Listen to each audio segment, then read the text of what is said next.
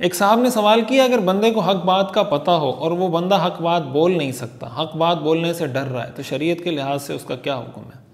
ये जो इस तरह के सवाल होते हैं ना, इस तरह के सवाल करने से पहले एक उसूली बात जहन में रखें कि हमें अपनी इसलाह करनी है।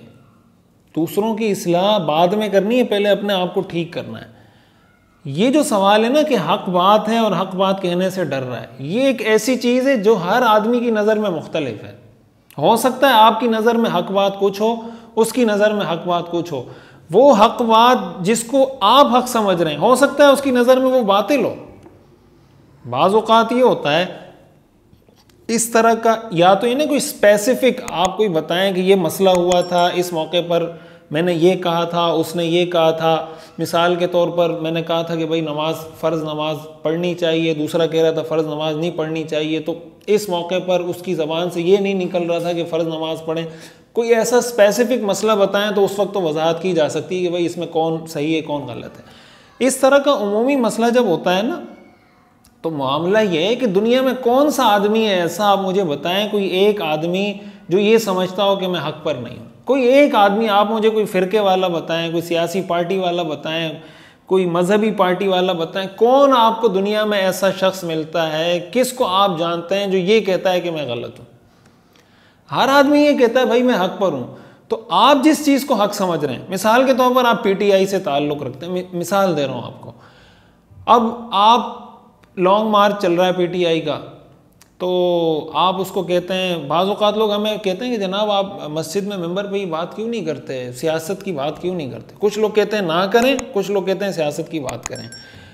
अब उनकी नज़र में हक बात क्या है? पीटीआई वालों की नज़र में उनकी नज़र में हक बात ये है कि इमाम साहब मस्जिद के मेंबर पे बैठ के ऐलान करें कि आप तमाम हजरात जुम्मे से फारग होने के बाद पीटीआई के लॉन्ग मार्च में तशरीफ़ ले जाएँ। ये हक बात। यही बात दूसरे की नज़र में बातिल है। गलत है। अब अगर आपके इमाम साहब ये बात नहीं कर रहे और आपने मुझसे ये मसला तो पूछ लिया कि भाई बंदा हक बात को जानते हुए बोले नहीं तो उसका क्या हुक्म है? और मैं यहाँ से फतवा दे दूँ कि जो हक बात जानते हुए ना बोले तो बस वो ऐसा है, वो वैसा है, वो फलाना है डिमका तो आप बोलेंगे, देखें इमाम साहब, आप तो हक बात नहीं बोलते। भाई हो सकता है वो आपकी बात को गलत समझता हो। ये मैंने एक मिसाल दी। इसी तरह आप किसी भी सियासी पार्टी की मिसाल ले लें, कोई भी मसला ले लें।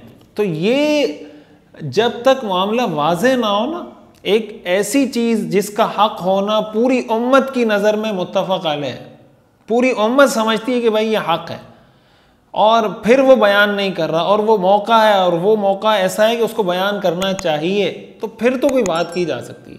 लेकिन अगर वो हक ही ऐसा है कि जो किसी के नज़दीक हक है, किसी के नज़दीक, मिसाल के तौर पर इमरान खान साहब पर जब कातिलाना हमला हुआ तो उस मौके पर जो हमारे यहाँ मुल्क में फ़िज़ा बनाई गई और जो हमारे यहाँ फ़ौज को गालियाँ देना शुरू कर दी गई, मुल्क तोड़ने की बातें करना शुरू, लोगों ने शुरू कर दी, सहाफ़ियों ने जनाब हर दस मिनट बाद रिपोर्टें पेश करना शुरू कर दी महरिकात वाजे करना शुरू कर दिए। अब बहुत सारे लोग ऐसे हैं जो पता नहीं उन्होंने जज्बात में आके क्या कुछ बोल दिया जज्बात की रो में बहकर। हम लोगों को समझा रहे थे कि भाई ये जज्बाती इतना दिखाएँ, अपना आइनी कानूनी एहतजाज रिकॉर्ड करवाएँ जो आपने एहतजाज करना है, जो आपका आइनी कानूनी हक है, आपको कोई नहीं रोक सकता। लेकिन मुल्क में ऐसी अफरा तफरी पैदा करना कि माशी लिहाज से पहले मुल्क कमज़ोर है सियासी लिहाज से पहले अदम इसकाम का शिकार है। एक ही लाइन बची, दिफाई लाइन, उसको भी आप कमज़ोर कर दें तो आप मुल्क को लेके जाना, कहाँ लेके जाना चाहते हैं? ये मुल्क है तो आप सब हैं, हम सब हैं, पार्टियाँ हैं, मस्जिदें हैं, मदरसे हैं, तंजीमें सब कुछ है। अगर खुदा न खास्ता मुल्क ही ख़त्म हो जाता है, मुल्क ऐसे ख़त्म नहीं होता कि ज़मीन ख़त्म हो जाती है। वो ऐसे हालात हो जाते हैं जैसे शाम में, जैसे लीबिया में, जैसे इराक़ में। अब हो सकता है कोई ये कहे कि ये हमारे साथ एहतजाज में निकल कर इस तरह की जज्बाती बातें क्यों नहीं कर रहा जिस तरह की जज्बाती बातें हम कर रहे हैं? हक बात को जानते हुए ये हक बात नहीं कर रहा। भाई, हम इसको हक समझते ही नहीं हैं। हम आपके एहतजाज को हक समझते हैं। हम इस हमले की मजम्मत करते हैं, इसको काबिल मजम्मत समझते हैं। ये मुतालबा करते हैं कि जिसने किया उसको गिरफ़्तार करें। लेकिन मुल्क तोड़ने की बातों को हम हक नहीं समझते। मुल्क के दिफाई लाइन को कमज़ोर करने की बातों को हम हक नहीं समझते।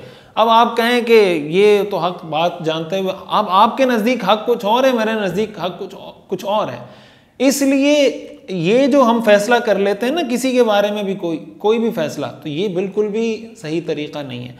ऐसी बातें जो पूरी उम्मत की नज़र में मुतफ़ आलह तौर पर हक हों और कोई उसको बयान ना करे, कोई डर रहा हो तो वो एक अलग बात है, उसके बारे में आप वाजे करके बता दें कि ये बात है जो मैं कहना चाह रहा हूँ तो फिर हम आपको बता देंगे कि इसका क्या हुक्म है।